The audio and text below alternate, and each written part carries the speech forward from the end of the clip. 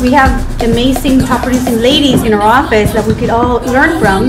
So uh, we're gonna pick people that have a niche in something specific. Hi guys, we just got done here with um, part one of uh, flipping houses. And in this market, everybody should try it like at least once because you can make some really good money in it.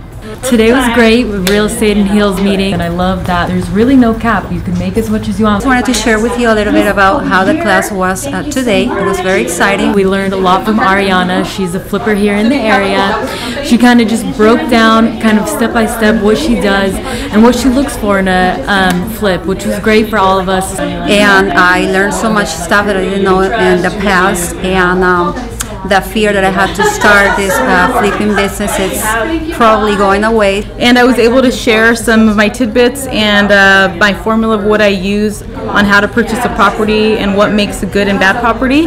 We'll be having part two soon, so I invite everybody to come in and join.